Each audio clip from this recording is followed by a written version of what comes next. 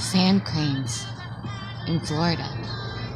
They're going to the Dollar General to get them some supplies for their nomadic life.